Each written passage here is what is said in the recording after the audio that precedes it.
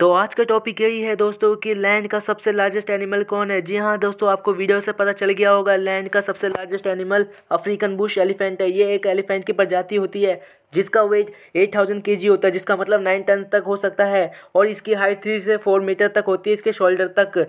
और ये rain forest के जंगलों में पाया जाता है हाथी। तो वीडियो आपको कैसी लगी लाइक शेयर सब्सक्राइब ज़रूर करना। एस क्लासेस को और फैट के साथ जुड़े रहे ऐसी नई नई वीडियो के साथ।